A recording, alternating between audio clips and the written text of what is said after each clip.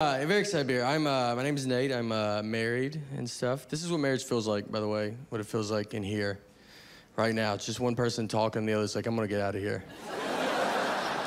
it's. That's. we, I'm from Nashville, and uh, me and my wife, we were in Nashville last summer, and we went out on the lake with some of our friends, and we were like floating around the water, and there's a guy in a boat like right next to us, and my wife was like, "Oh, that's my ex-boyfriend in that boat." Now, I didn't know who he was, so she didn't have to say that at all, you know. She was just basically like, "You having fun?" Because I like to put a stop to that. and make you stare at this guy the rest of the day. So I'm like staring at him, and then I look at my wife, and she's staring at him, and I feel like she's staring at him to see what her life would be like if she didn't marry me. So I started staring at him because I was like, I'm gonna see what my life would be like if I didn't marry her, you know?